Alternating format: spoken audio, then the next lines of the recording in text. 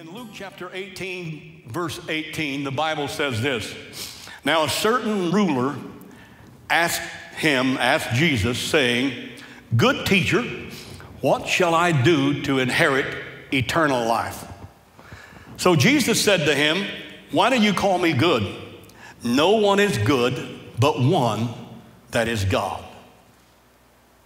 You know the commandments do not commit adultery, do not murder, do not steal, do not bear false witness, honor your father and your mother. And he said, All these have I kept from my youth. So when Jesus heard these things, he said to him, You still lack one thing. Sell all that you have and distribute to the poor, and you will have treasure in heaven. And come and follow me. But when he heard this, the Bible said he became very, very sorrowful because he was very rich. This morning's message is entitled Just One Thing. Just one thing. How sad it would be for me or you if we come down to the very end of our life and we lived it the best we thought we could, and we missed it, we missed heaven just by one little thing. Just one thing that would keep us out of heaven. Just one thing that would keep me from having a real relationship with Christ. Just one thing. How sad and foolish on my part would it be if I allow one thing to keep me from my eternal home in heaven? With all the redeemed saints of God from all generations, seeing and being a part of, of the multitudes and multitudes that has come from it, time past. My goodness, the number of countless people that I've read about, talked about, thought about, preached about the angelic choirs, the prophets, Old Testament prophets, the apostles, the kingdom of glory in all of its magnificence, and above it all, Jesus Christ. And I let one little thing keep me for being a participant of that. How sad. During Jesus' earthly ministry, one day he was approached by this young man. Luke says he was a ruler. And then it goes on to describe him as a rich young ruler. I'm sure there's some young ladies in this room that would like to meet him. Rich, and young, and powerful. One has to assume that he didn't get rich by being lazy. He was no doubt a young man that was a visionary, a young man that had aggressiveness about his life, a young man that planned and succeeded, a young man that had some kind of business savvy about him. He was able to grow his wealth in a competitive market. He was able to do what most people couldn't do. Much could be said in regard to the credit of this young businessman. He knew how to make money. He was rich. He was young. He was youthful. Another thing, qualities I see about him was he was respectful. His greeting to Jesus was good teacher. He recognized Jesus as being good. He saw in Jesus a goodness that he probably didn't see in very many people in his line of work in his world. He saw in Jesus a spiritual revelation that this man come from God. This man had a voice from God. He recognized that Jesus was good, that he was a teacher, that he was a man of God, a prophet of God. He acknowledged that he needed to be taught by this good teacher.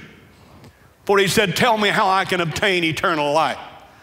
There's a lot of good traits that you quickly see about this young man. You can't fault him in those things. He's not lazy.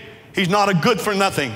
He's not somebody that's wasted his life. He's a man of purpose, a man with vision, a man with business savvy, a man that is uh, recognizes good qualities in people, a man that was respectful to a prophet of God, a man of God. All of this is good. It's quite different from some of the people you see today, right? Quite different from the ladies on The View. One of them commented this week, Joy Behar, commented this week that because Vice President Pence felt like God had spoken to him that he had mental sickness. Wow. She doesn't believe that God can speak to you. Well, you know, she's convicting herself because the Bible says, Jesus said, My sheep hear my voice, and none other will they follow. So he evidently speaks, so she must be in the wrong fold. Christianity is under attack. His voice one day will thunder from the heavens, and believe me, they will hear him. Even the dead will hear him and come up out of the grave. He speaks. He says what he wants to say, he'll do what he wants to do. He's God Almighty. The sad part about that is the ABC network never rebuked her and called her on the carpet for that. And sadly, the liberal media never called her out for crossing the line. In these last days, Jesus said, You'll be hated for my sake. I'm glad I got a vice president that believes that Jesus Christ can speak into his heart and the Word of God is real and alive. Hallelujah. I'm glad he doesn't mind quoting the scripture. I'm glad he doesn't mind standing up for family values. I'm glad he doesn't mind lifting up the name of Jesus and praying and believing that God is talking to him. Thank God we've needed that for a long time in America. We need some leaders that will hear the voice of God and know that God is speaking to them. One day the whole world's going to hear his voice. People wondering this morning, what in the world's wrong with America? Let me tell you, when we're entertained by people that, like I've just mentioned to you, and the influence that they exert on, the, on us or on people, what kind of expectation do you have of a culture? What do you expect if they're teaching you against the Christianity and against the moral values? This rich young ruler came to Jesus and he said, What must I do to inherit eternal life?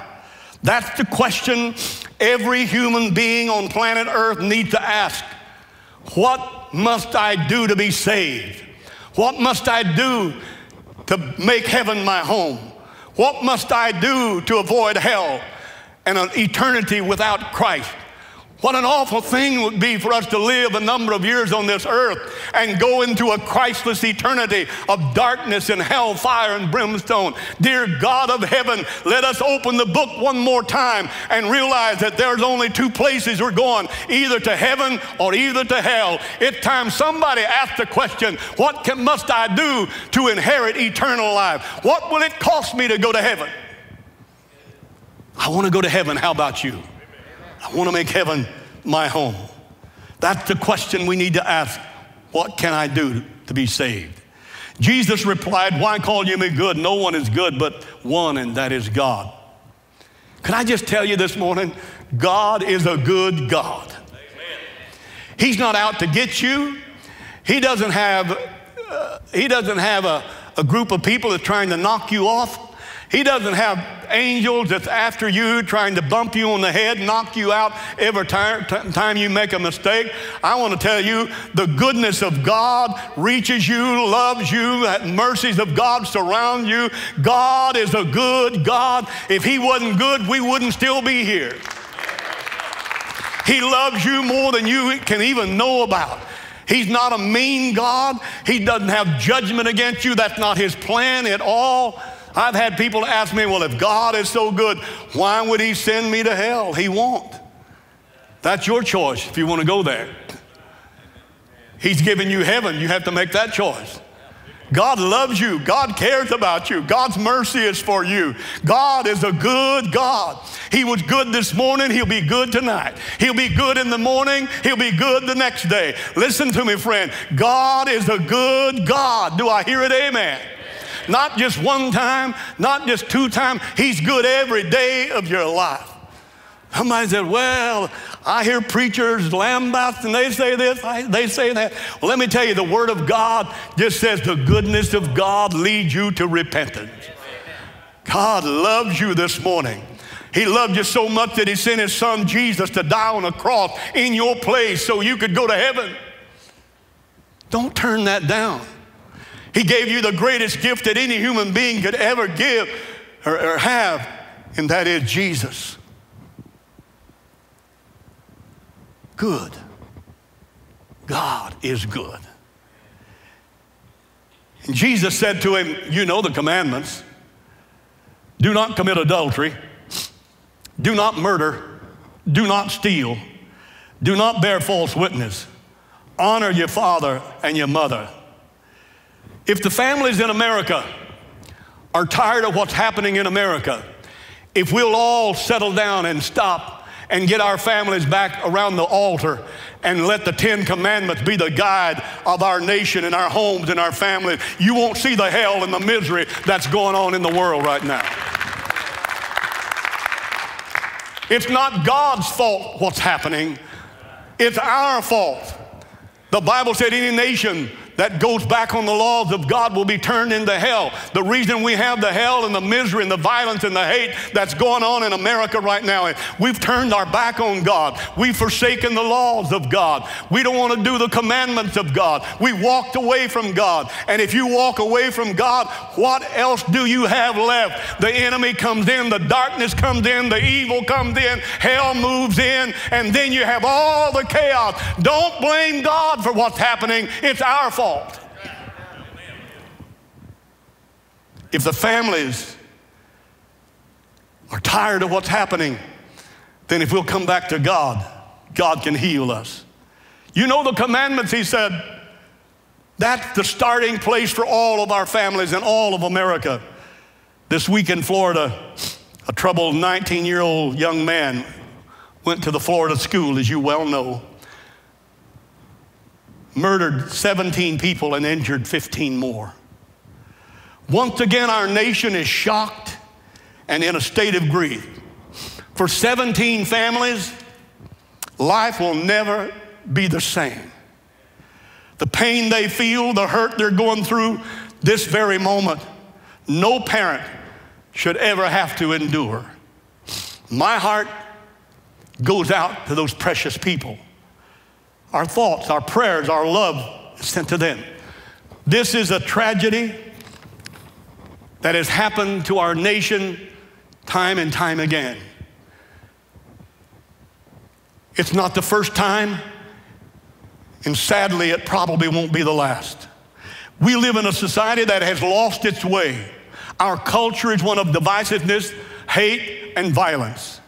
When tragedies happen, the same groups come out and pull their same argument and stand across from one another, flailing their arms and frothing at the mouth and dividing the nation even more. America's problem is a spiritual problem. America's problem is a heart problem. If we don't have a heart change, the culture is not going to change. If we don't get God in our hearts, then we won't have peace in our nation. If you feed kids a steady diet of violence and hate and killing and raise them undisciplined and allowed to do whatever they want to do when they want to do it, then believe me, you'll see the results played out just like you have. The hell that we're witnessing is the result of our beloved nation walking away from God. A parent, listen to me, parents, America needs parents that will stand up again and be the parents of homes and families. We need to bring our kids around us. We need to have supper tables again, supper times again. We need to have prayer and devotion again. We need to have the family altar again. We need to get our kids under our arms and take them to church again. Do I hear it? Amen. We need to burn some video games and we need to get rid of some uh, lyrics and rock music and, and all the filth and all the violence and all the hate that, that is spewed out of those. It's time for us to have a spiritual house arranging in America. That's the only way you're going to solve the problem. Our schools have become killing fields. Our schools have become drug scenes. Our schools have become war zones of erratic, uncontrollable behavioral problems. We have a generation that's been raised on bloody video games, bloody murdering and raping movies that entertain them. This generation has been conditioned and desensitized in their emotions. They don't have any compassion for another man or woman or boy or girl. You become what you feed your mind on. The lyrics of the songs of this generation that is listening to is the most vulgar and evil and satanic inspired in its origin. The opposite would be true if we had wholesome, decent gospel message and truth feeding into the spirit and the mind of these young people. Amen. You say, Pastor, nobody's interested in all of that. then they're going grieving and killing and hurting and destruction. No one wants to change the music industry. No one wants to change Hollywood. No one wants to change those kind of things. Then we'll go on having the same things that we've been having. No one wants to change 11, 12 year old boy from watching bloody video games and killing people and murdering people on a video machine for hours a day. Then expect him to go out and act normal? Dear God, what are you expecting? It's time for us to make some clear cut decision. Listen to me, ladies and gentlemen. We need to plead the blood of Jesus Christ over every one of our kids every morning before you take them to school. We need to pray the blessings of God's glory over them. I love my kids and I love my grandkids. I appreciate Jamie and Kim and appreciate Kevin for trying to raise their kids right. They're not perfect by any stretch of the imagination. But I appreciate them praying over them, giving them counsel and wisdom in their lives. Because if you don't do it, believe me, it won't come from somewhere else. But I think this is a funny story. Kevin pulled up to the school many years ago and we're going to let both of his boys out. And before he let them out, they'd always have a little prayer and they'd say, Oh, Kevin say, okay, what are we, what are we today? And their, their response is, we're mighty men of God. Well, that morning, Dawson wasn't feeling the best in the world, and Kevin finished whatever he's doing and said, Okay, what are we? And Landon said, We're mighty men of God. Dawson didn't say anything. Kevin said, Dawson, he said, I'm just an old biscuit head.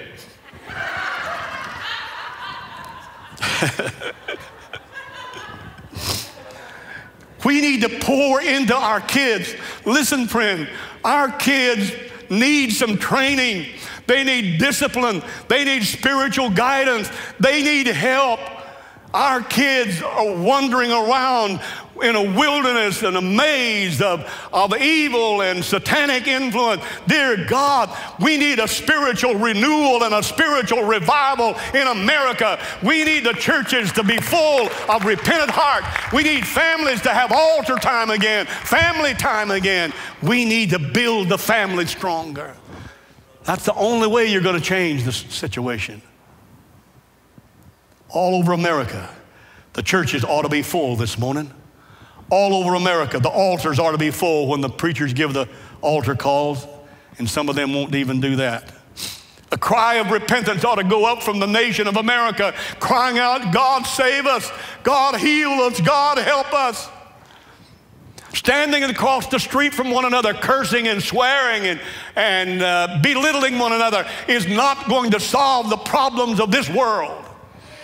Somebody needs to get a hold of the hand of God and reach down and take a hold of the hand of the people. Somebody's heart needs to be tender and touched by the Holy Spirit of God. We need a move of God. And yet I heard some of them say, Don't tell us your thoughts and prayers are with us. We don't want to hear that. Jesus said, Keep the commandments. The young man replied, I've done that. I've been doing that all of my life since I was a little boy.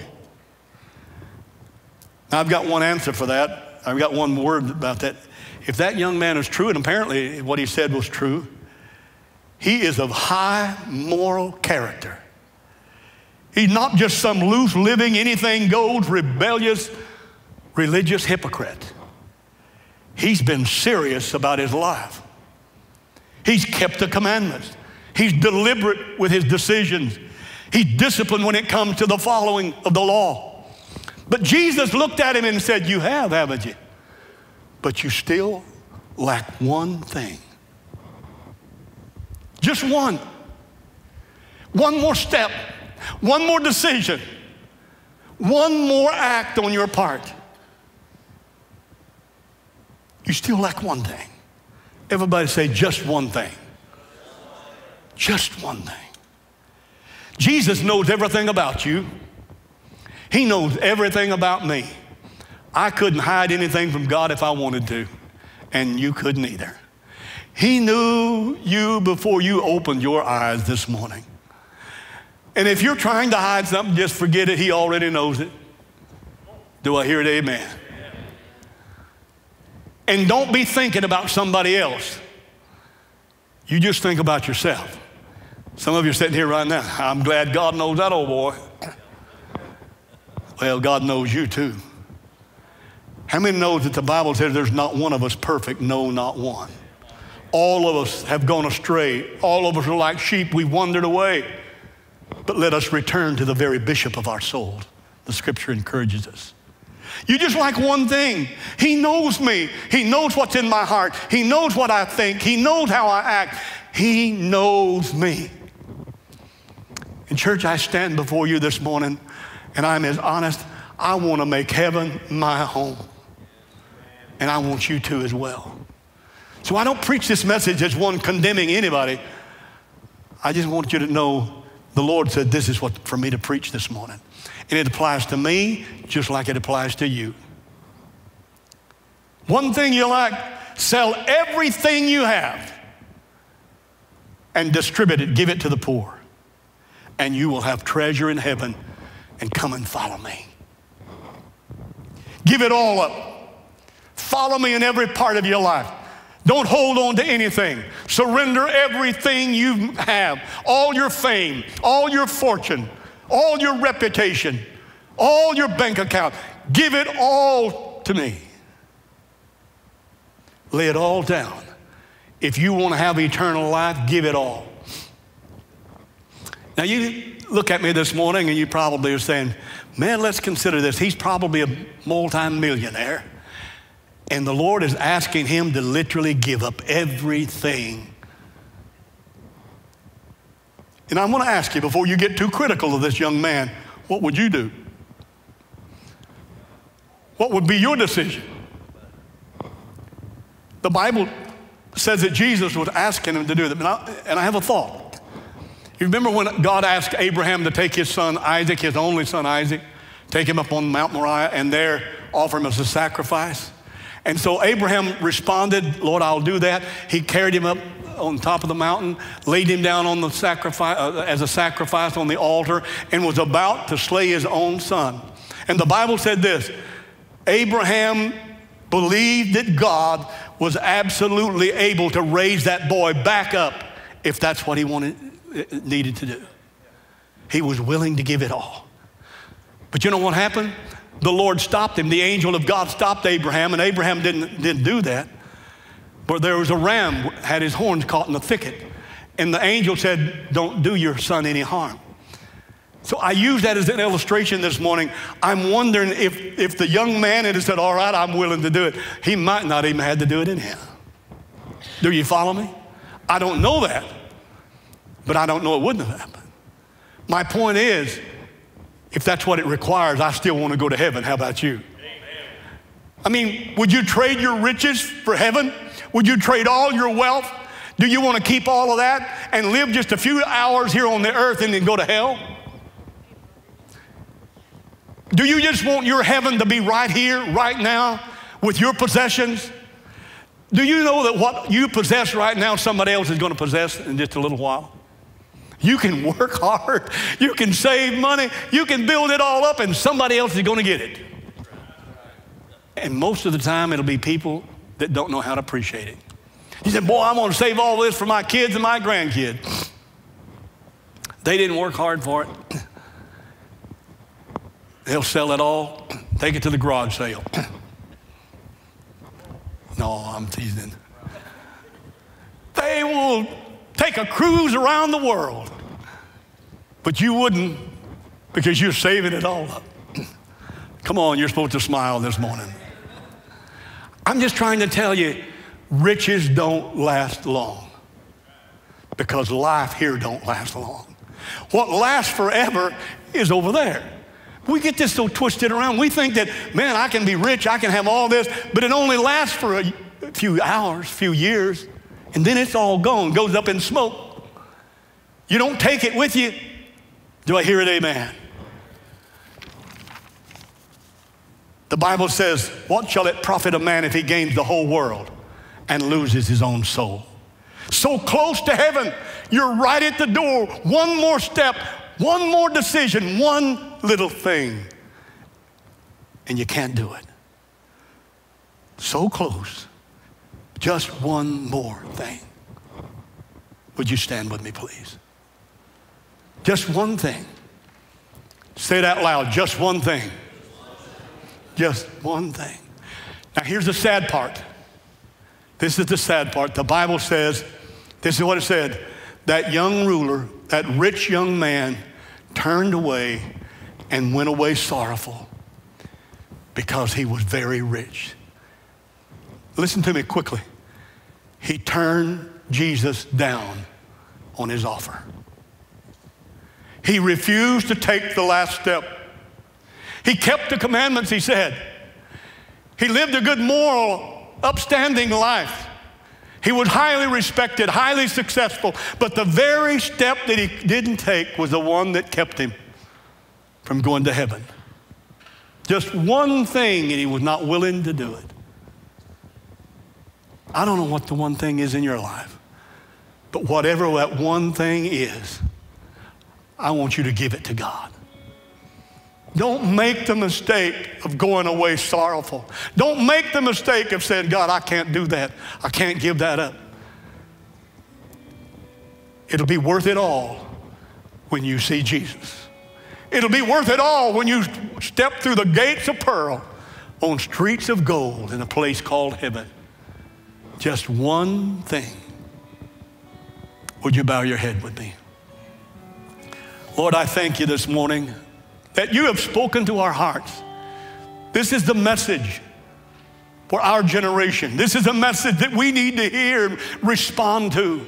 And I pray, oh God, that every one of us would be sober in our thinking that every one of us would be listening to your voice of the Holy Spirit and we would act in wisdom. We would say, Lord, whatever you require, I want to do it. Whatever it takes for me to go to heaven, I want to be willing to take that step to make heaven my home. In Christ's name. Heads are bowed and eyes are closed. I wonder how many of you in this room right now would just slip your hand up and drop it back down and by that be saying, Pastor, would you pray for me? Preacher, would you pray for me? I need help with my life. I want to make heaven my home, but I have some things I probably need to take care of. Quickly, would you slip your hand up, drop it back down? Yes, yes, yes, yes, yes. Lord, thank you for these very special people this morning. Thank you that you're speaking and we're listening. And Lord, this morning I just pray that you would bless each person here. Make, help us make the right choice, the right decisions. Help us, Lord, not to turn away from you, but to turn to you. Bring healing over our nation. Bring help into our families and into this audience and into every person here. In Jesus' name. Thank you so much for watching this video and I want to do this for you today. I want you to join me and just say the, the prayer of the sinner. And I hope that you will let Jesus Christ come into your heart and change your life. God's got a good plan for your life. All you need to do is invite him in, and the Bible said he'll come in and live inside of you. So pray this prayer Lord Jesus, come into my heart. I recognize that I am a sinner that God loves me and that God wants to save me. So I repent of my sins. I believe that Jesus Christ is the Son of God and has come to save me. I accept him right now as my Savior and my Lord in Jesus' name. And I thank you, God, for saving my life. Amen. God bless you, my friend, and may the Lord bless you and keep you always in his love.